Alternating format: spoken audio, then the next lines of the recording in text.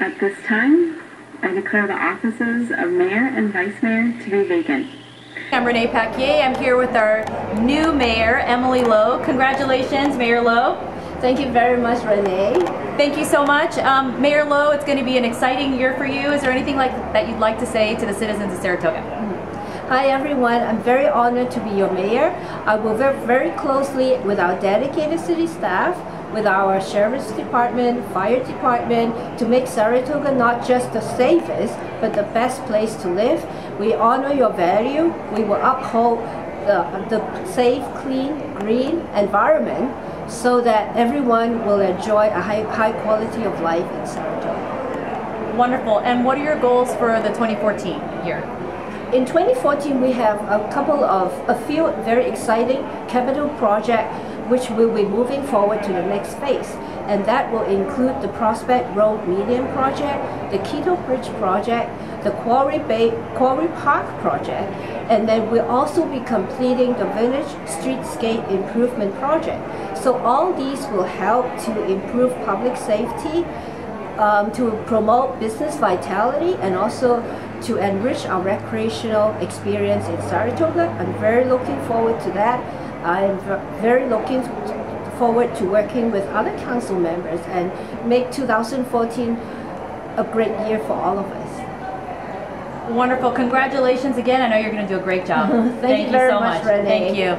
Hi, I'm here with our new Vice Mayor, Howard Miller. Congratulations, Howard. Thank you.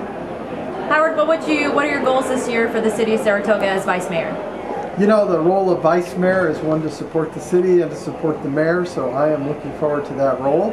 Um, the city has a couple of big challenges this year that are sort of behind the scenes. We have a noise ordinance that needs to be finished, and we have a, a general plan housing element that needs to be updated and completing. Those will be challenging tasks for the city staff and for the council. Um, but other than that, I'm hoping for a very pleasant year on the council. Wonderful. And as a former mayor yourself for the city of Saratoga, what advice do you have for our new mayor? You know, Emily's going to be great as a new mayor, but the only caution I would give is that it's a lot more work than, than she probably realizes. Wonderful. Thank you so much and congratulations again. Thank you. Hi, I'm here with our now former mayor, Miss Jill Hunter, now council mayor, mayor Hunter. Uh, what are your most memorable moments from this past year as being mayor of the city of Saratoga? Uh, I think that maybe I loved Arbor Day the best. I just loved, it was in April, and I just loved that day. And all the school children came and they did posters, and we, it just worked out very well. Um, that was a real favorite of mine. And uh, going into the schools was a real favorite of mine. So. Wonderful. And I know you've had a very busy year this year. What advice do you have, if any, for our new mayor? Uh, be sure and listen to people because they're very intelligent and they tell you what they think and you can learn from them. And uh, and be sure to try and keep a smile on your face and work hard. You have to work hard. Wonderful. And thank you again for a wonderful year. You did an amazing job. We really Thank you. appreciate it. Thank you very much, Thank you. Okay. This is the regular meeting of Saratoga City Council, December 1st, 2013.